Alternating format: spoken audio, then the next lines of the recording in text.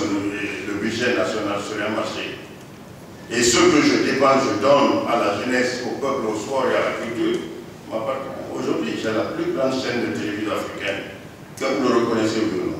Aucune télévision africaine n'est au-dessus de ça. Même Canal, qui n'est pas au-dessus de la télévision 6 médias.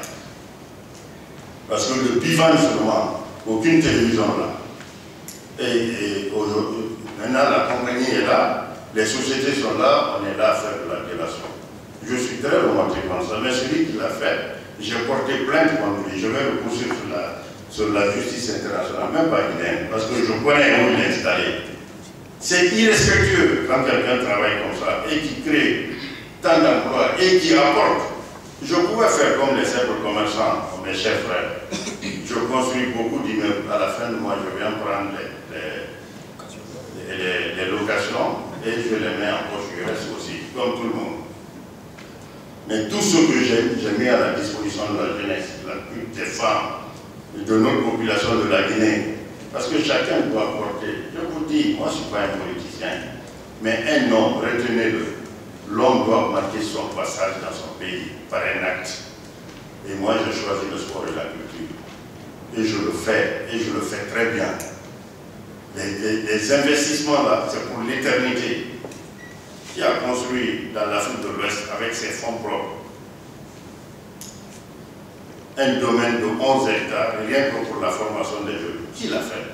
Même un gouvernement africain n'a pas fait. Donc, quand, les gens investissent, il faut avoir du respect. Et peut-être que les gens pensent que vous êtes étrangers.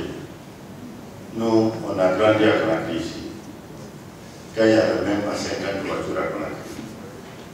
Quand Conakry s'arrêtait ici au palais de le palais de n'était même pas là-bas, c'était le terrain rouge, ceux qui ne connaissent pas. Et quand on parle, il y a des gens ici, quand on leur parle de place, on ne connaissent pas. Quand on parle de, de, de, de, des trucs qu'ils ne connaissent pas, on a grandi ici. À ce moment, il n'y avait même pas 50 voitures en Guinée, à Conakry. Donc ne, ne, pensez pas que c'est quelqu'un qui est venu. Hein.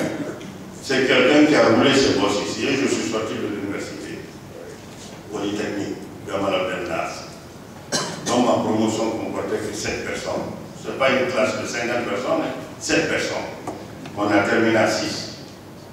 Et, j'ai fait mes formations sur les 5 continents, dans les plus grosses sociétés au monde.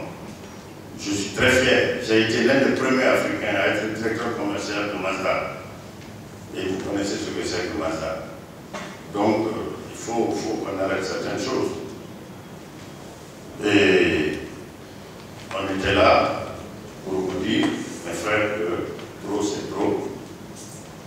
Quand j'ai créé toutes ces sociétés, il y a eu des attaques, des critiques, mais ce n'est pas grave. Mais que vous créez une compagnie, parce que le pays n'a pas de compagnie aujourd'hui.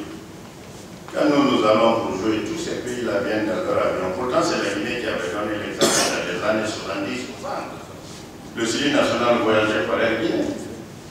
Aujourd'hui, nous, nous sommes en train de voyager par des compagnies avec toutes les souffrances au monde. Maintenant que vous avez une compagnie qui peut vous prendre aujourd'hui, vous déposer à Kinshasa ou à Johannesburg ou quoi, en vol privé, et qu'on attend les simples autorisations, les spéculations commencent. L'argent, là, je pouvais l'asseoir, mais pour ma famille et m'asseoir, vivre comme un machin. Quand même respecter les gens. Donc, nous sommes là pour ça. Et moi, je ne serai pas long laisser la parole à la l'aviation civile techniquement qui va vous expliquer, mais je veux en France, collaborateur, que vous posez des questions que je réponds. Merci.